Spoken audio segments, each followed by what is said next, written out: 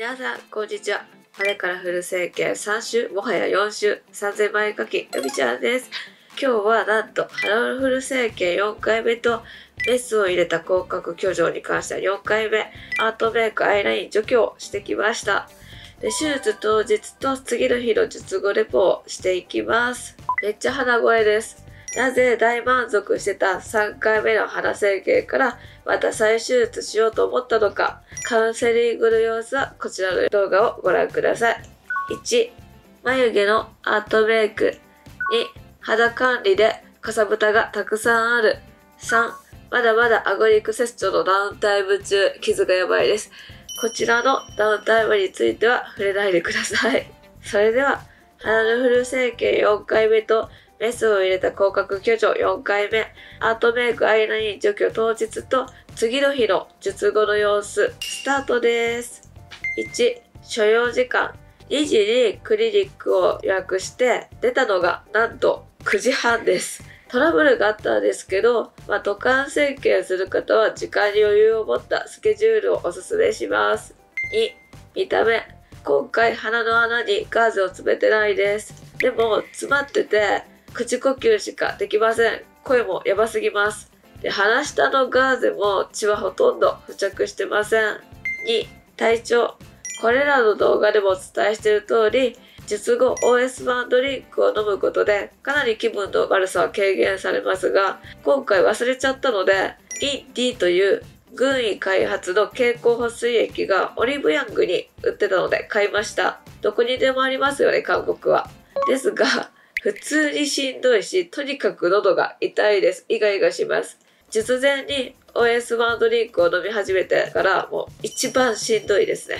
で、クリニックを出て、タクシーを捕まえるまでもすっごいフラフラで、通訳さんに付き添ってもらわないときつかったです。で、朝8時から絶食してたんですけど、食事は夜中1時頃にようやく何か食べる気が起きました。痛み止めは、まだ痛み止めが効いてるからか、まあ一応平気です。で、広角挙上とアートメイク、アイライン除去に関しては全然痛くなくて、肌先がちょっとジンジンします。はい、ダウンタイム1日目です。見た目は目まで腫れてきました。埋まってますね。痛みは痛み止め飲むほどではないけど、鼻先がジンジンします。で、インスタライブやるくらいには全然元気です。で、昨日あんまり血が出てないって言いましたが、後から血が出てきました。鼻の下から。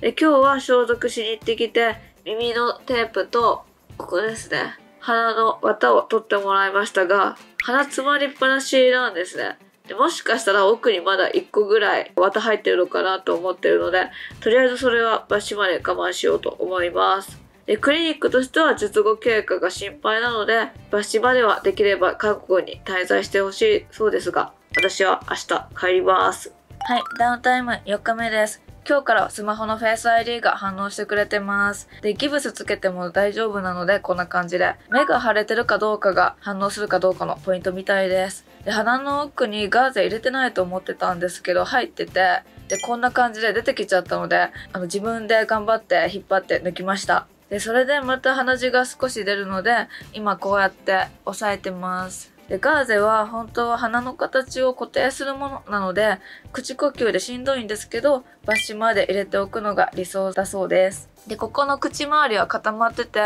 まだ全然上に引き上がりません。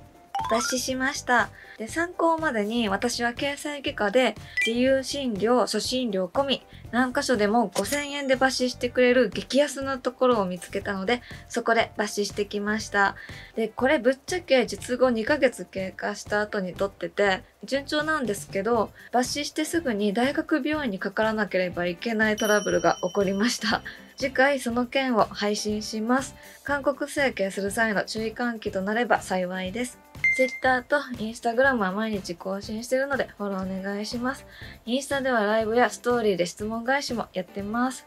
Twitter と Instagram では一応嫉妬など個別相談も受け付けてはいますが、その際はプロフィールの概要欄をよくご覧になってからメッセージしてください。